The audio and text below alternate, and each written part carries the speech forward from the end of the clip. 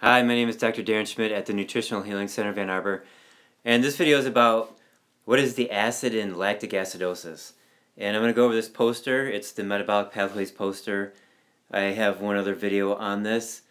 And um, now as I go through this poster, um, I'll be looking at the screen like this and not so much looking at you because as I look at the screen, I'll be using my finger to point and I want to make sure that I'm pointing at the right thing. Like that. So get used to this. Sorry not so much like looking at you directly. Okay, so now here's what this poster looks like. The, the point here is that we have this pink, which is sugar burning, and then we have yellow, which is in the mitochondria. This is fat burning, and then this is the production of energy right here. The pink is ancient. This is before oxygen was on planet Earth. There's no oxygen used here, and there is a waste product, and that is Actually, there's there's four waste products: lactate, acetaldehyde, acetate, and ethanol. And so those cause harm, but they're not acids. And back in the 1930s, the doctors knew that there were waste products that acted like acids, but they didn't know what, what they were. So, but what, what acts like acid is actually the release of hydrogen ions from this process. Whereas there are no um, hydrogen ions released from this process it is hydrogen neutral. Hydrogens are being used, but they're actually being recycled down in here. Okay, now this is the more modern use of uh, nutrients to make energy. Um, it uses oxygen. So this this was developed later in evolution, whereas this is before there was oxygen on the planet. Here's when oxygen was put on the planet or created or whatever and then our bodies or um, bacteria actually started using oxygen using this mechanism. Okay, so the translocation of protons, that's key here. And down here, this is just really interesting information. Once you have acetyl-CoA, whether you make it from sugar and all the waste products that come from it, or you make it from fat with no waste products, the acetyl-CoA goes into what's called the citric acid cycle, um, also known as the Krebs cycle, and the purpose of that is to push hydrogen from within the mitochondria into the membrane.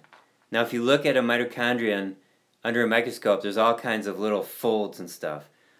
Those membranes are the, the it's the storage of electricity. It's like a battery.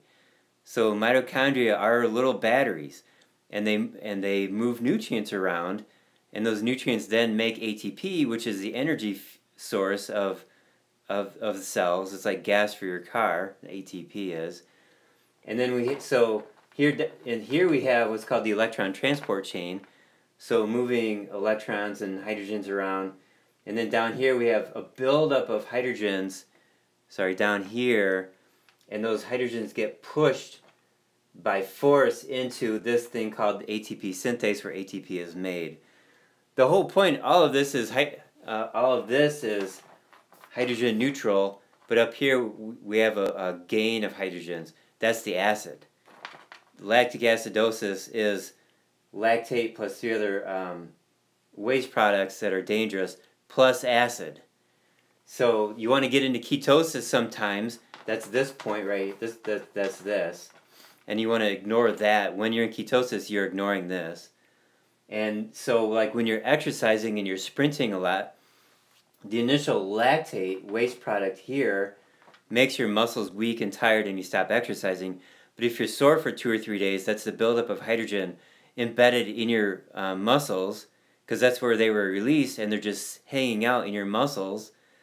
So the way you get rid of that hydrogen is to is oxygen, and the oxygen combines with it, and then you get water and um, and you can get carbon dioxide too. But um, that's why it takes two or three days to get rid of that soreness to get all that hydrogen out of your muscles. So, um, so anyways, you don't want to be burning sugar too much for too long. Like 70 years of burning sugar, you end up with cancer and heart disease from the buildup of acid. You know, people who are older and they're and they're sore everywhere. They just have they've been doing this their whole life. So get into ketosis, so you, you end up doing this, and you end up um, favoring fat burning over sugar burning, whether you're overweight or not, you still want to be doing fat burning at least occasionally, but for a lot of people frequently, so that you're doing you're creating energy very efficiently with no waste products. All right, so I hope this helps, and I thought it was pretty cool. I learned it this weekend, and I wanted to share it with you. Give me a thumbs up if you thought it was cool too.